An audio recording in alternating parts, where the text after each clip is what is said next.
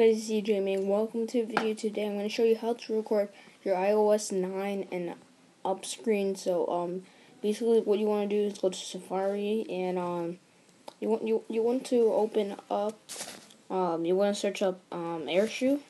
Okay, search up AirShou. Oh my god, whoa, whoa. you want to search up AirShou. Well, accidentally, accidentally put that type of, oh, sorry. Okay. You want to search up AirShou. You want to go to AirShou, um, iEmulators.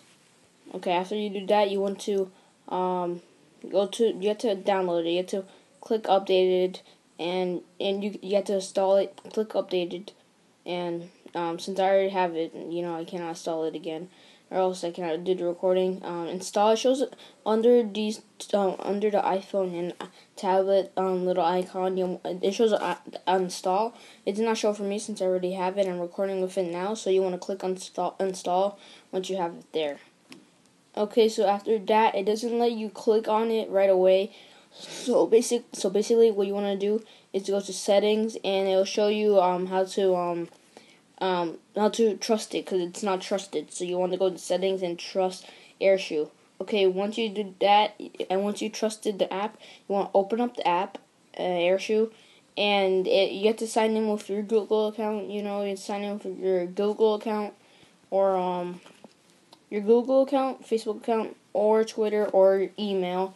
And once you set it up, you can put in the settings 1080p portrait landscape on one of those. So yeah, basically you can set one of those as the recording, and basically to record it uh, after you put next step, um, it should show um your recording and stuff. And to re- to record, you have to open up this. You want to click AirPlay, and you want to turn on mirroring. It does not appear right now for me because I already have it on. I'm already recording. So you you want to turn on mirroring for that, and then you start recording. To end the recording, you have to press the stop button right there, and it's saved into the into your files as I'll screenshot right now. Um, as I screenshotted there, you can see that it is into the files. So you can upload it to YouTube. Just click on it, save it to camera roll, and um, you can um, put it to YouTube. So I hope you guys enjoyed this little tutorial. If you have any questions, and if you don't get something, leave in the comments below as always. And I'll see you guys in the next video. Deuces.